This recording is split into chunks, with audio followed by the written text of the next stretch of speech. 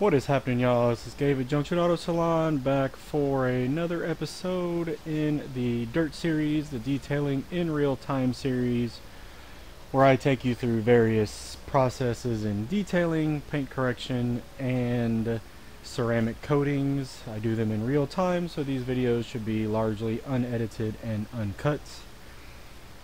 That's my face. This is the camera. That's the microphone. Moving on. It's not cold in here. So today we are going to uh, we are going to do a rinseless wash uh, to the side of this F250. I'm going to show y'all what that uh, what that entails, uh, what that takes.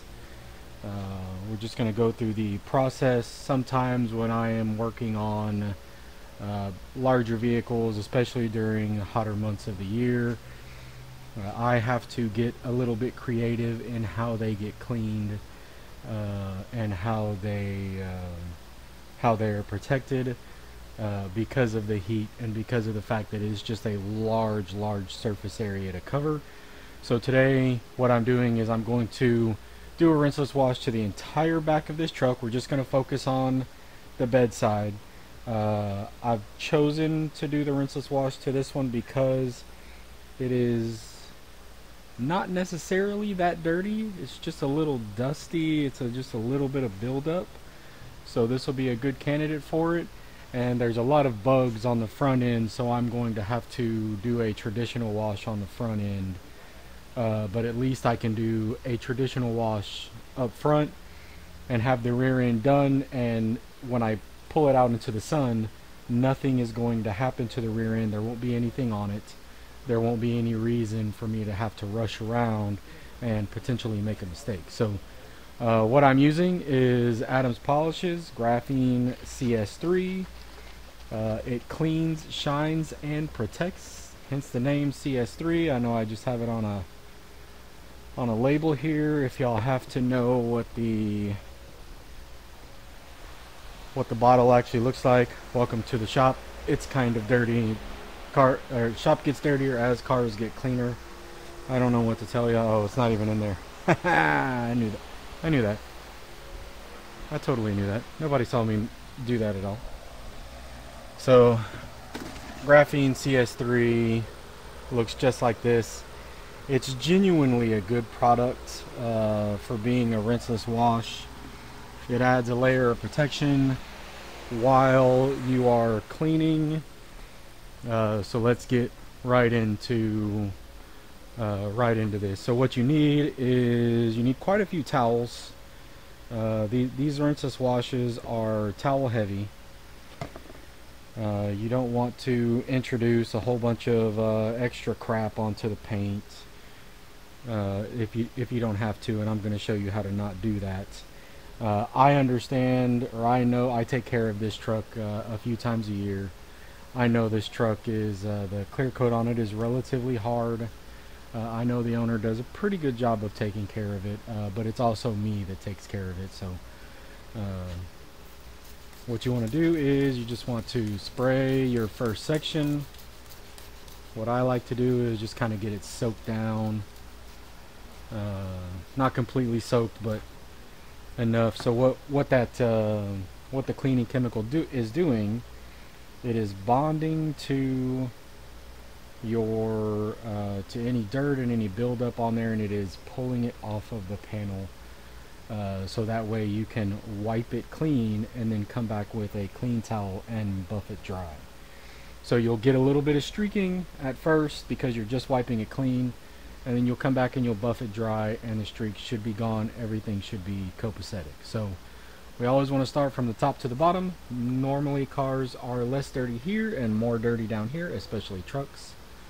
So just one easy motion on the softest side of a microfiber towel that you have.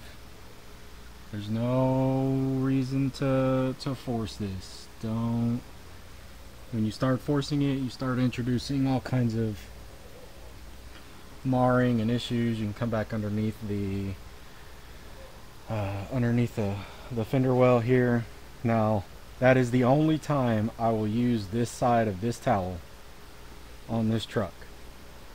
So I won't come back and um, or at least on the paint I should say I won't come back and put any other it, I won't use that section of the towel on any other section of this truck now that I've done the initial the initial wipe off so uh, the only the only thing I'm gonna do is whenever we're done with this section I will spray a little bit of CS3 into the towel and I'll come back along this section right here uh, and clean up the trim. Actually I can do that right now.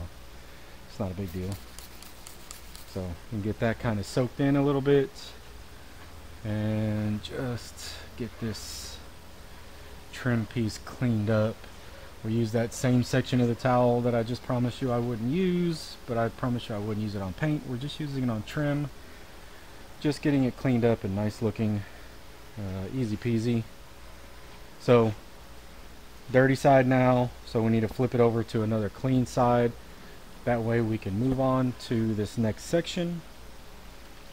And so you want to get that sprayed off.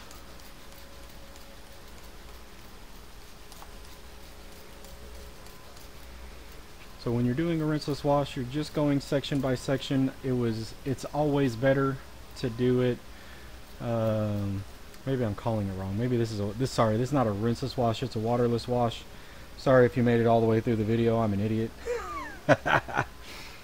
so, waterless wash. I'll put that. I'll make sure to put that. Uh, put that in the YouTube thumbnail because I'm stupid. Uh, it's warm in here.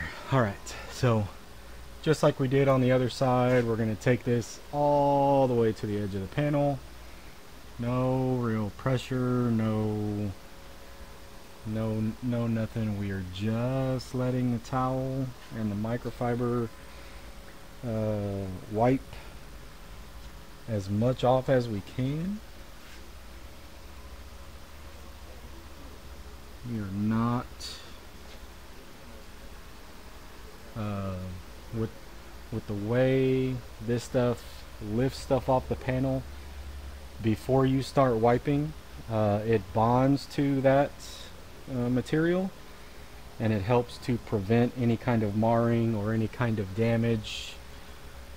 Uh, that way you're not just dragging dirt around your car's paint because that's that's just all bad but now we can come back with the buff towel. Oh, I do need to do the inside of this fender well with that same towel. Now I don't worry about fender wells as much as I do everything else. They're going to take a beating regardless.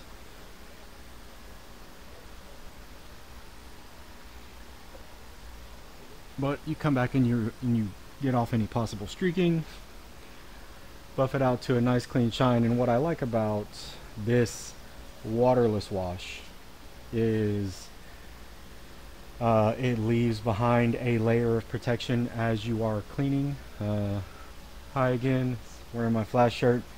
My Junction Auto Salon shirts are completely worn out. I apologize for nothing for being a comic book geek.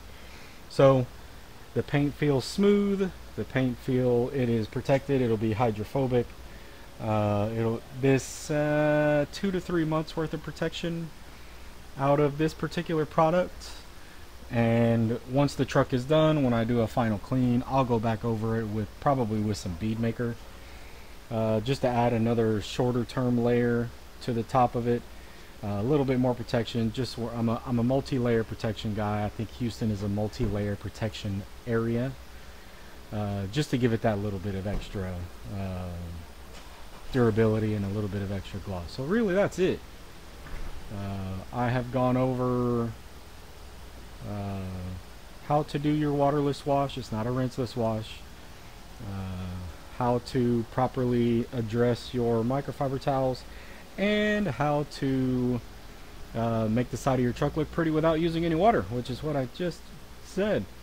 Anyways, that guy. Bye-bye. Junction Auto out. Oh, wait, wait, hold on. Make sure you like and subscribe, or else I'm not doing my job. Okay, Junction Auto out.